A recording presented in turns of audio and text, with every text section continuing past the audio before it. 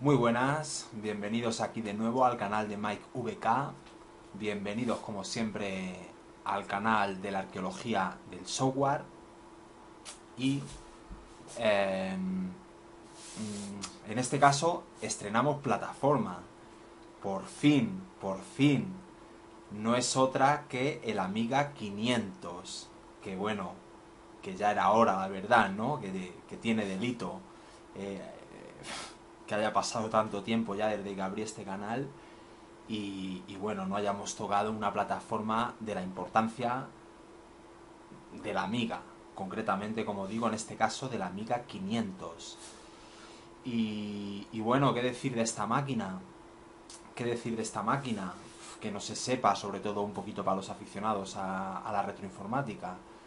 Pues, pues que estamos en una máquina mmm, ya de la generación de 16 bits, que cuenta con un microprocesador eh, bastante más potente que, el Z80, que era el que se usaba en los 8 bits sobre todo, mm, que es el Motorola 68000, que tenemos 512 eh, kilobytes de memoria, concretamente en este Amiga 500, pero eh, lo que yo creo que es más importante y que me corrijan los amigueros si me, si me equivoco, pero lo que yo creo que es realmente más importante, que son todos esos custom chips, como se les conoce, todos esos chips que, que le daban concretamente, sobre todo en audio, en vídeo, pues unas capacidades para la Amiga absolutamente adelantadas a su época. O sea, eso sin, vamos, sin ninguna duda.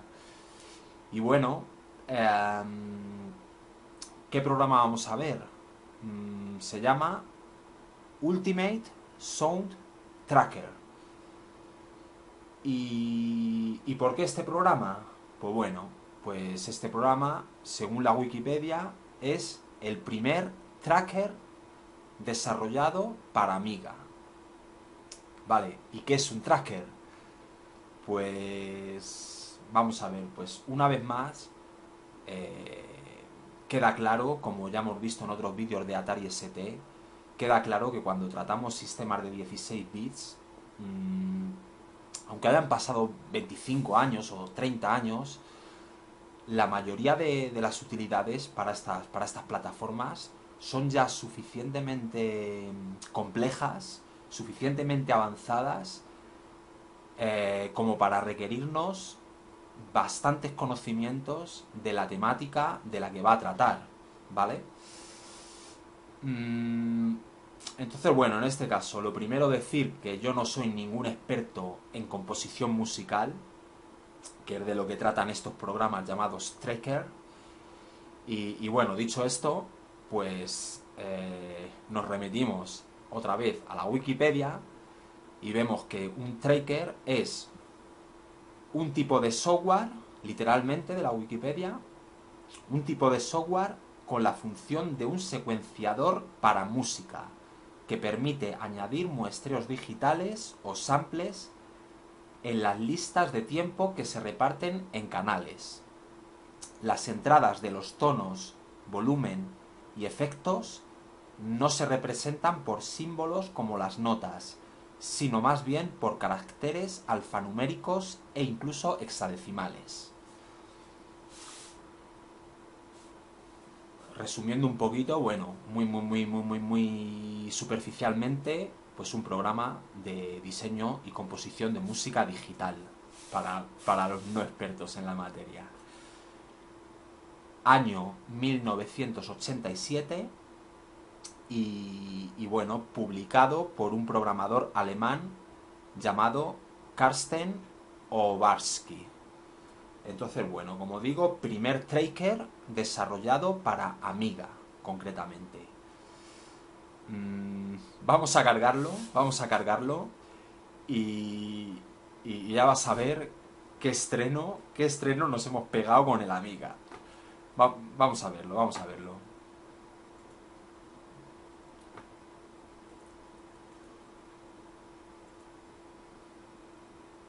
Bueno, por supuesto, yo tengo mi, disquete introducido, arranco el Amiga y ahí tengo el programita en cuestión.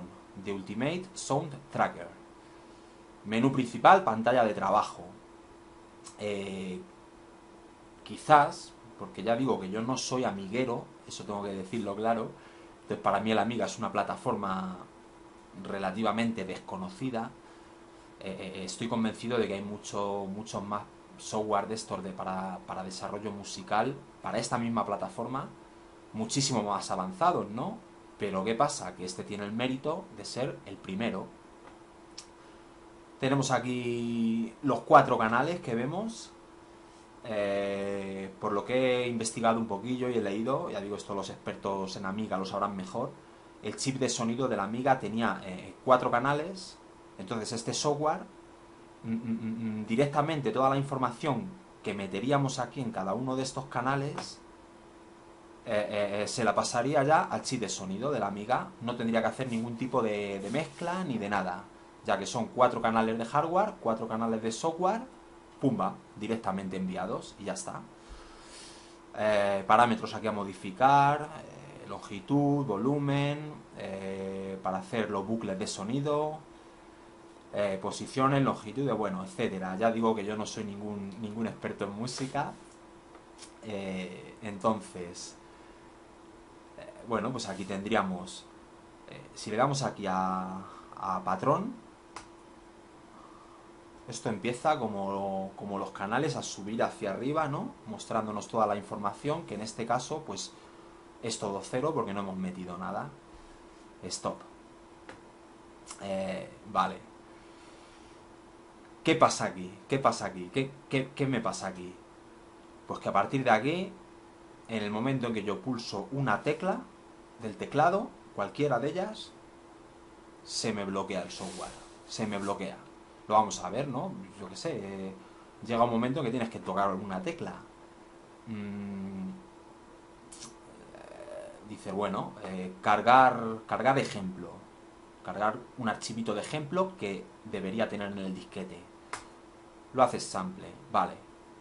Y ahora me voy aquí para intentar introducir el nombre de ese,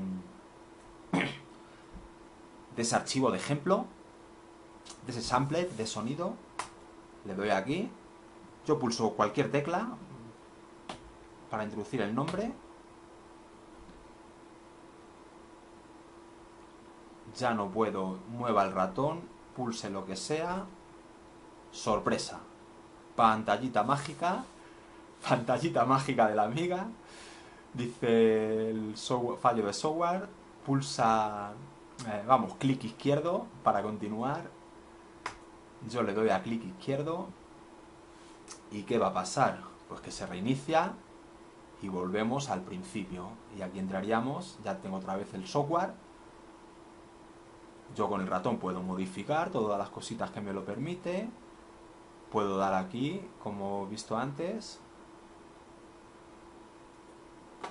pero yo me coloco aquí, intento escribir con el teclado en el momento en que pulso una sola tecla, sea la que sea, adiós.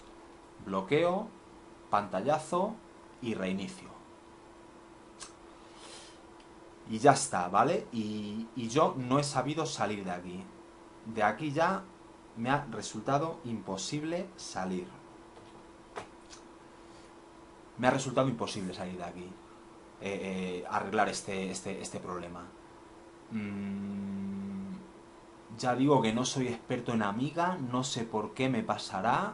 Eh, el modelo que yo estoy, con el que yo estoy trabajando es exactamente el Amiga 500, además configurado de, seguramente lo conoceréis, de un tutorial, pues aquí del amigo Enrique García, que, desarrolló un tutorial en vídeo para emular el Amiga, que para mí, y siempre que tengo la oportunidad lo digo, lo recomiendo, para mí es el tutorial definitivo de emulación de Amiga 500, o de Amiga en general.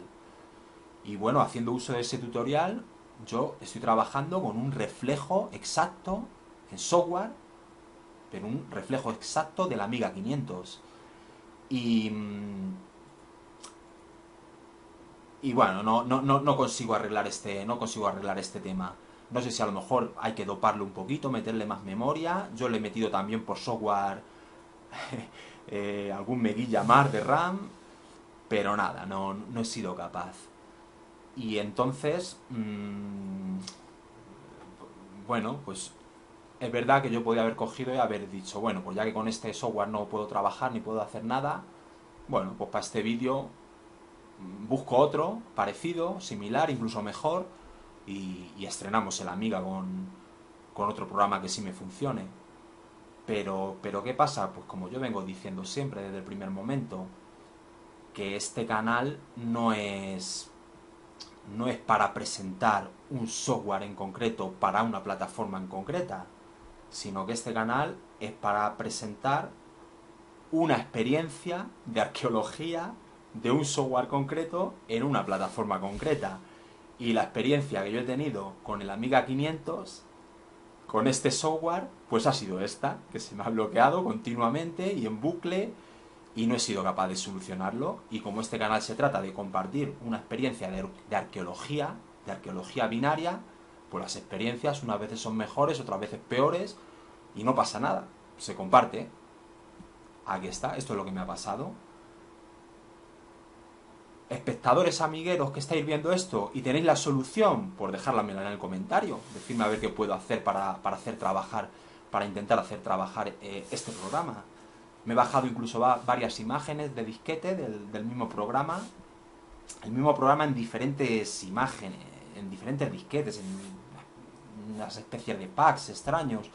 Me pasaba lo mismo con todas, o sea, con este mismo programa. Hay que decir también que, que este programa tiene más versiones.